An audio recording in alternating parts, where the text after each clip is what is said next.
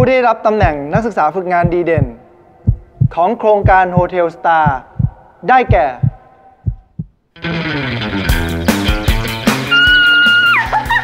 นี่พวกเธอช่วยกันล้างช่วยกันเช็ดให้เสร็จเร็วๆด่วนเลย กูไปเลย เข้าไม่ได้ครับหลอกกูเหรอ สวัสดีครับ พบกับผม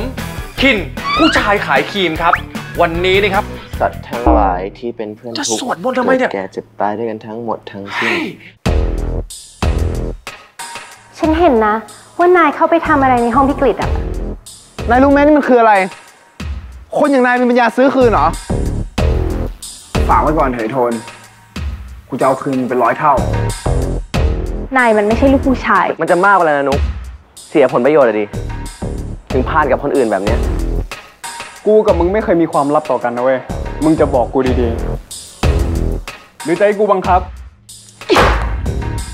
ไหนพี่ตักรับปากพี่วุฒิแล้วไงคะ ว่าจะให้หญิงอยู่แผนกต้อนรับต่ออะพวกเธอคงไม่เหมาะที่จะอยู่ในครัวนี้จริง อัก อักเป็นอะไร ทำไมต้องทำตัวห่างเหินกับฉันแบบนี้ด้วย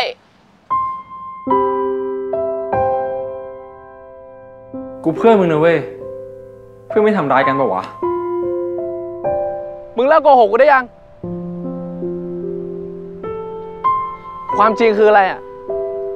มึงก็รู้อยู่แก่ใจไม่ใช่เหรอ คนเรานะเว้ย มักจะเผลอทำอะไรไม่ดีกับคนรอบข้างเสมอ แล้วเวลา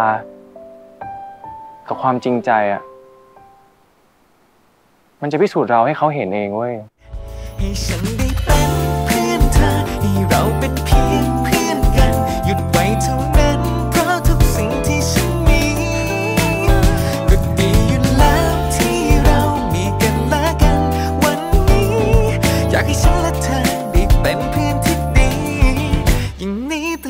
ไป